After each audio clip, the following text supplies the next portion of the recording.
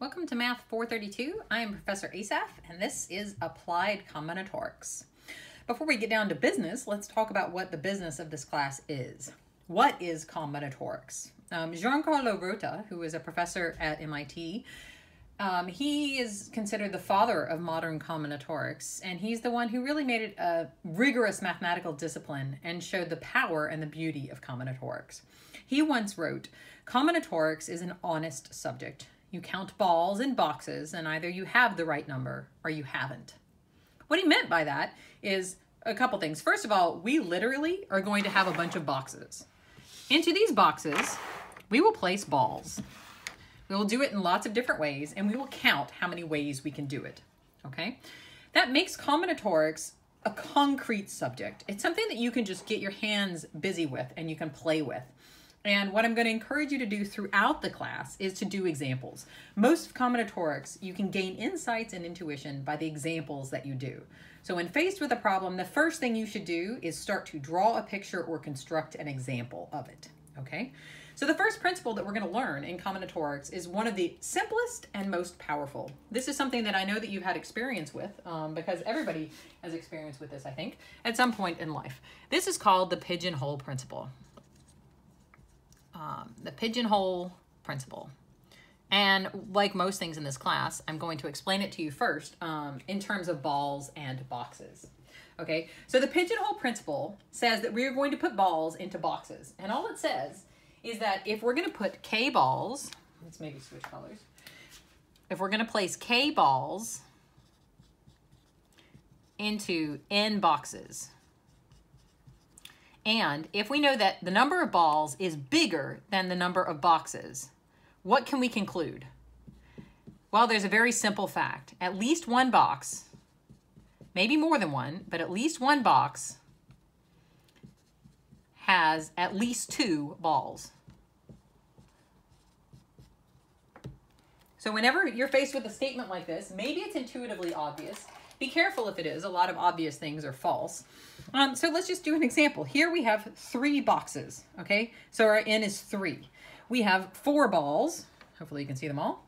So k is four. So we just check, is k bigger than n? Yes we have four balls and we have three boxes, so we can do the pigeonhole principle. So the pigeonhole principle says no matter how I put these balls into these boxes, at least one of the boxes has at least two balls. And it's sort of obvious when you look at it, right? Like, okay, well, what am I going to do? Well, I can, I mean, there's, there's, I got a ball here, I've got to do something. I could actually put all the balls into one box, and now it's true that at least one box has at least two balls. In fact, this box has four balls. I could also do this. Now there are two boxes that have at least two balls. That is still a true statement. The point is that there's no way I can do it so that I don't have at least one box with at least two balls. So whenever we have a statement like this, um, that's sort of painfully obvious, intuitively, like we're like, yes, how could that possibly be false? The strategy that we're going to use to prove it is going to be contradiction. So our first lesson, I guess, is combinatorics is concrete, Let's do some examples. When we have an obvious statement like the pigeonhole principle, we're going to prove it by contradiction. So here's the statement written once again. Um, if we place k balls into n boxes, and k is bigger than n, we have more balls than we have boxes, then at least one box has at least two balls. How are we going to prove this?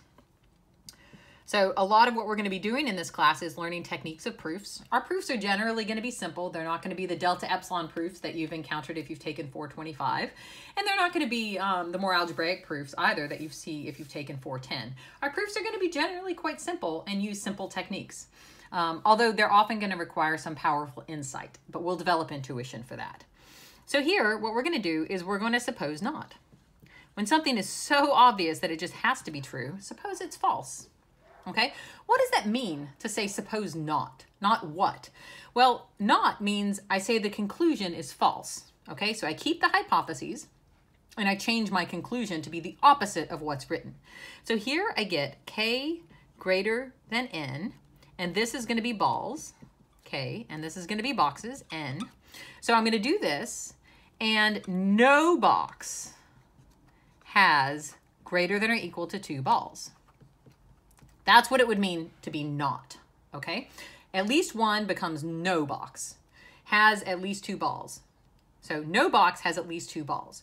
Well, what does that mean? Well, that tells me that each box has less than or equal to one ball, right? So that would be a situation like this. So what does that mean? Well, let's just count. It's combinatorics. It all comes down to counting.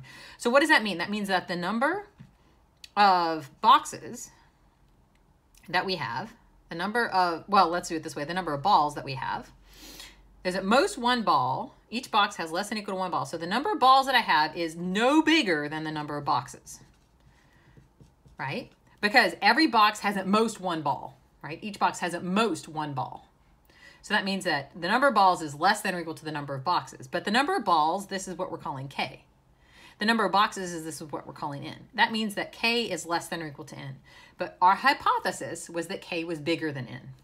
This is a contradiction. Usually we denote it like this. So here is a contradiction. If you arrive at a contradiction, two statements that cannot simultaneously be true, then your supposition is false. So it's not true that not is the case. Therefore, it is true that the pigeonhole principle is the case. So this is a great example of a proof by contradiction for something, a statement that's pretty obvious. So what we'll do in the next couple of videos um, to reinforce this idea of the pigeonhole principle is we're going to look at examples and real world applications. How do you know when the pigeonhole principle is what you should be using and how do we use it to solve problems?